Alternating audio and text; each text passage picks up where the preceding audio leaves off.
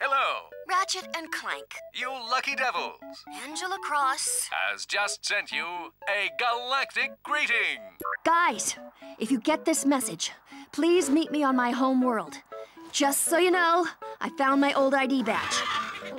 I'm pretty sure we can still use it to infiltrate Megacorp HQ, but you're gonna have to hurry. Before the Protopets completely overrun us! Oh, and uh, sorry for the balloonogram. It was the only thing I could get off this pl- We hope you enjoyed your galactic greeting.